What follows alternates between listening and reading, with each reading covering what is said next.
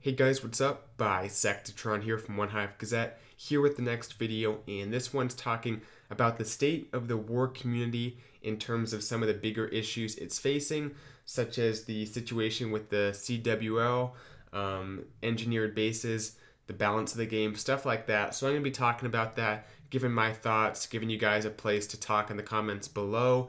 And um, actually, I was kind of avoiding making a video on this but basically, I got back from the tennis tournament today. Um, went f- okay. I mean, we won a few, we lost a few. Uh, nothing too special. But I got back. I didn't have a whole lot of content to make because this this war didn't produce a lot of good attacks. Their bases were kind of bad. You'll see a few good replays in the background, but that's about it. Um, so I thought it'd be a good time to address some of these issues and at least give my thoughts. One more of these videos. I know a lot of people make videos on this, um, especially over the last few weeks. There's been a lot of videos on it um, by other YouTubers, but you know I think it's something that I'll, I'll talk about uh, briefly in this video.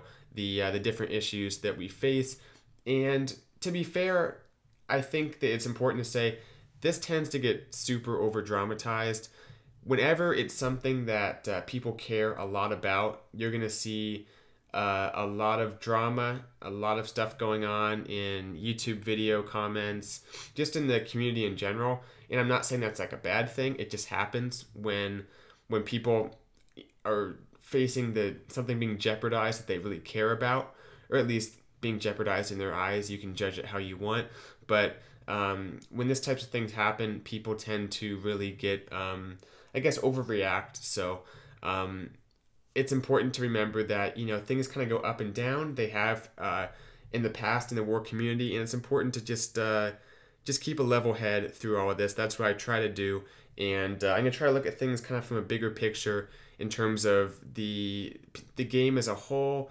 especially people who play clan wars, not just the upper upper CWL league, because that's kind of what I'm immersed uh, immersed in. But I try to uh, look at other types of gameplay as well when making these types of videos. So that all being said, I guess I'll talk about CWL first, just kind of give some thoughts on it.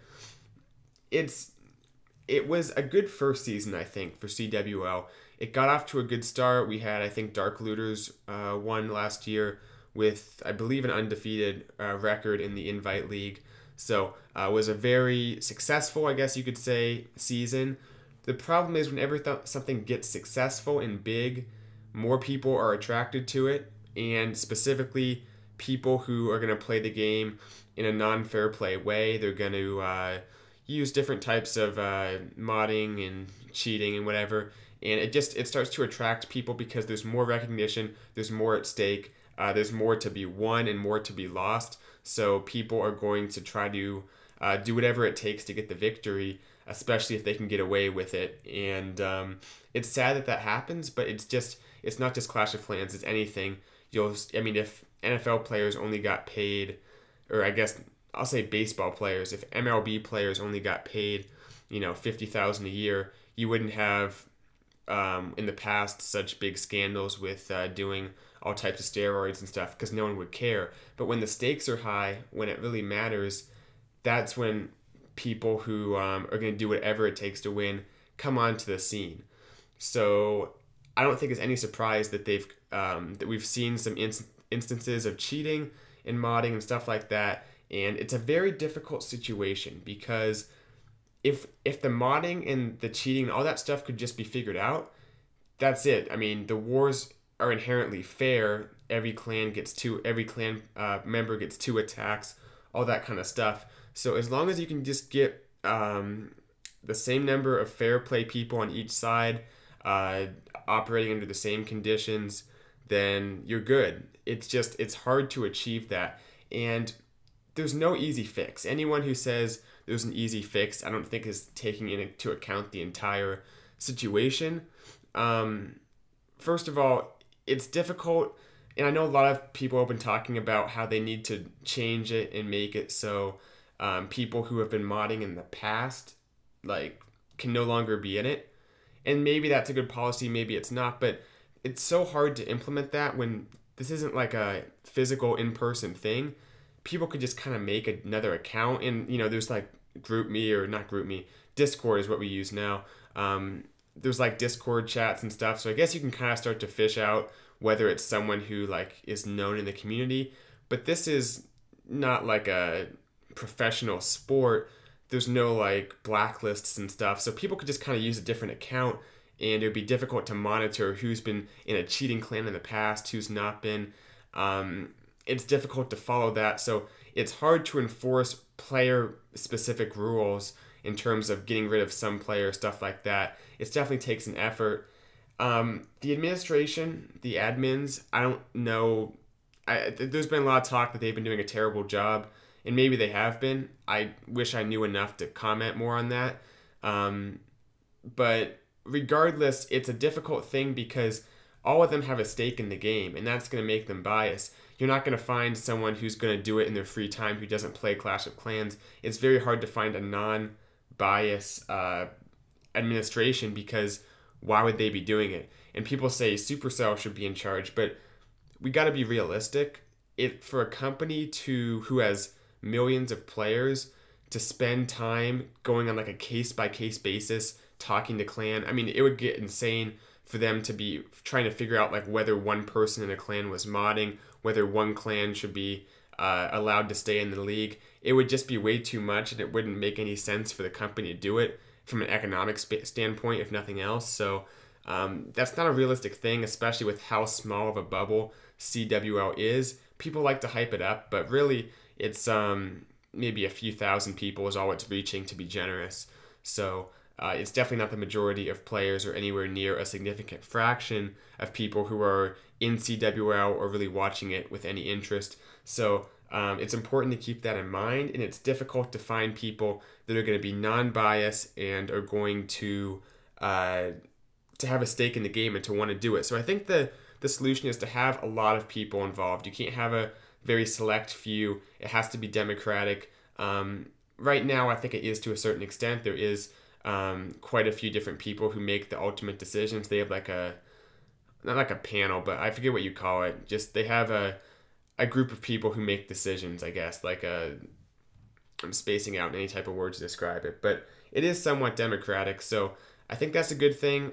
Um, from what I've heard, there was a little bit of issues with disrespect between the uh, community people, the actual people in the CWL, and the administration. And I think that just kind of happens when when you have you know high tensions, people who really care about the game. There's a lot of back and forth, some close wars, people really getting into it. Um, so I don't want to blame the administration outright. I don't know enough to uh, talk about what happened, but I think you know they've been uh, at least putting a lot of time into it. It seems like. I mean, they're typing up huge uh, essays of their decisions and stuff, and I think it's easy to sit back and try to nitpick what they're doing.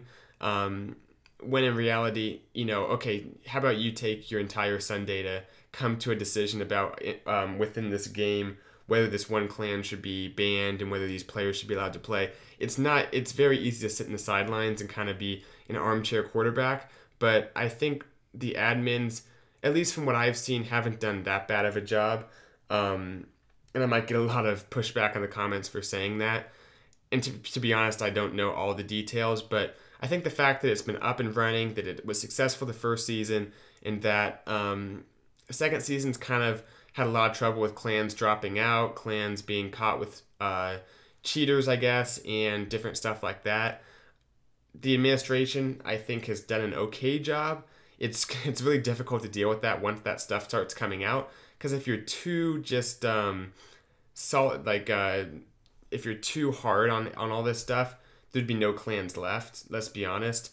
Um, they could probably be more strict on certain things, but if you start doing um, ex post facto, I think is what it's called, if you start going back and getting clans for stuff they've previously done, you're very quickly going to eliminate um, a lot of clans and basically ruin the entire second season. So I think for now, just kind of use the duct tape, seal it up, and uh, for season three, hopefully there is a season three. I think there will be uh, try to improve off of what happened, change the system a little bit, maybe change the rules. Uh, I think that the community should really be taken into account. I um, there shouldn't be a few people voting on how the season, how the league is set up. Sorry for this terrible attack in the background. By the way, I'm getting desperate here. Um, this is going longer than I thought. Um, is but as far as uh, as far as actually setting up the league, I think it should be much more democratic. The clans should vote or something. And then decisions within the season, once things start, then those should be more of a okay, a group of people make a decision based on the uh, the evidence. But initially setting things up, I think the it should be entirely up to the people, the players, um, because it just doesn't make any sense to have that um, one panel of people make all the decisions in terms of actually how the league is going to be set up, what the rules are going to be. Uh, once it gets going, it's um, it's harder to keep it like so d- democratic. So then you got to just for sake of efficiency and for sake of uh, taking out a lot of the bias that clans might develop over the season, then you got to start to um, to try to cut cut down the decisions to a, a group of people who are who are going to be at least somewhat qualified to make those decisions. So I'm hopeful for CWL. I don't, I don't think it's like going to be a failure or anything. I um, I think Genesis will be in it next season. I don't know if uh, how it'll be set up at all, but we should be in some form of CWL or some type of competitive league, whatever uh, the best option is. Let's go back up here.